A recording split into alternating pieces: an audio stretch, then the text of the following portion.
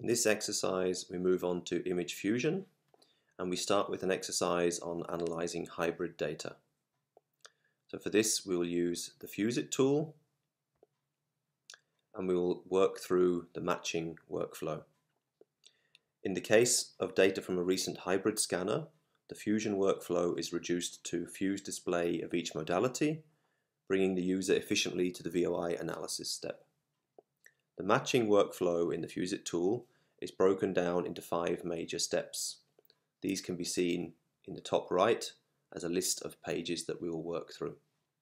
We start with loading of the input images, then we load a reference image, then there is matching of the input to the reference with inspection of the matching result. Then we can perform image algebra and finally VOI analysis. When hybrid data will be most commonly analyzed, it's useful to set the hybrid workflow as the default. This is performed in the configuration for FuseIt, which is found in the lower left next to the FuseIt main menu. In the dialog that this opens, we have a tab for functions within FuseIt, and in the middle of that dialog, we can set the default matching. At the moment it shows rigid, and we will change that to hybrid. Note that things like the default color tables used for certain types of data are also found here. The data that will be used as reference when the modality is properly identified in the image header and some information about the volumes used for species recognition. Confirm the configuration with OK and then we're ready to load our data. So when hybrid workflow is set as default, both the input and the reference image can be loaded together. And this is most effective when we use the database or similarly if we use DICOM data. So select the Bruker PCI database, mouse 6.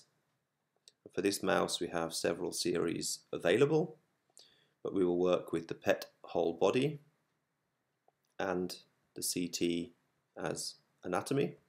So we add each of those to the selected for loading list.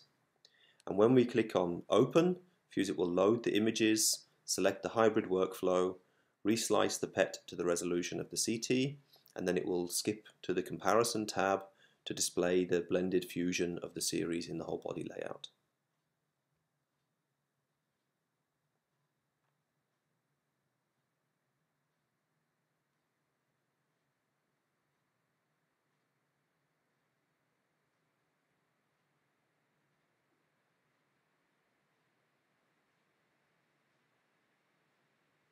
So now you saw the tool work through the input loading and the reference loading and then we've jumped from the matching tab to the comparison tab where we see the whole body layout and we see the CT with some PET image displayed at the same time.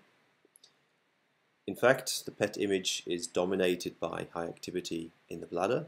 So if we want to see it more clearly, we should adjust the upper threshold. Now we do that with the usual image controls for the PET on the top right hand side. In fact, we have two sets of image controls now. One for the input image, labeled with a green marker, and the tooltip shows us that this is the PET data. And then we have a second set of image controls for the CT. So on the first set of image controls, on the General Image Manipulations tab, we can change the upper threshold to 800, and now we see the PET image more clearly in the whole body display. On this comparison tab, we can choose the layout. In the lower right, we have shortcuts for alternative layouts. For this type of whole body PET CT data, the whole body layout is quite nice. If we have more than a simple pair of images available, we can choose the input that is displayed using the menu labeled A. And similarly, we could have multiple references. Then we also have capture icon for the usual display captures and an option to do some 3D rendering if necessary.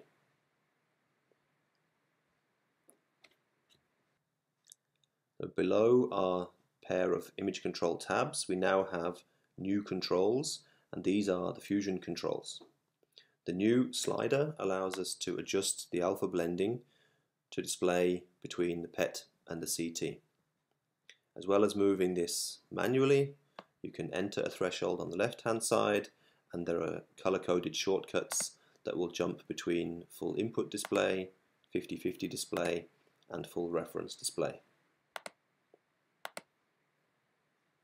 Just above the Fusion slider we have a choice of modes that can be used and the mix mode represents the default alpha blending mode. Below the slider we have the option of turning on contouring which we'll see more in later exercises. On the right hand toolbar we have other green and blue labeled icons for manipulations of the input and reference images which you would need if we didn't already have hybrid data. So again, we will see those in the next exercises. If we want to continue straight on with VOI analysis, we can use the shortcut on the right lateral taskbar, which will take us back to the matching page, but to the VOI analysis part. Here we still see Fusion display within the image display on the left hand side, we see the full set of VOI tools and their listing in the center and on the right hand side we see our pair of image control tabs, our fusion controls and then VOI additional controls and settings on the right hand side while still being able to choose the input and reference images when we have more available. For this exercise we will outline the same lesion on the right flank of this mouse that we outlined at the end of section 1. If I triangulate that location, we can zoom in by factor 4 so that we see this splendid fusion of the PET and the CT. We can still turn on the MIP as we've seen in the previous exercises. And we can adjust the display of that as necessary. And note that only one MIP is displayed depending on the image controls that are selected. But this will allow us to navigate through either of the images thanks to the hybrid fusion. If we switch to the reference display, we should also configure the MIP, in this case seeing skeleton and some of the imaging hardware more clearly.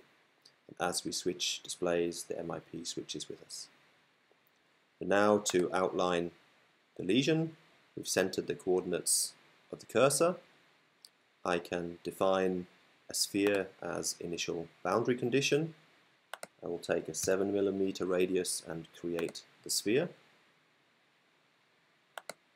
Then I can open the isocontour dialog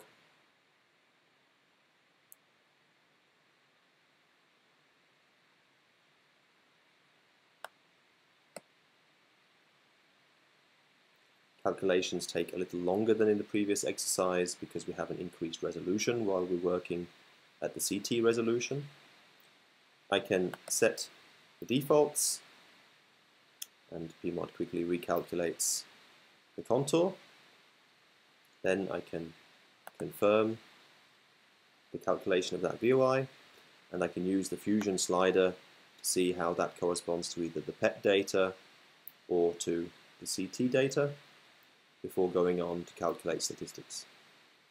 I should be careful when I calculate statistics because the statistics calculated also depend on the image control tab to select either the input data or the reference data.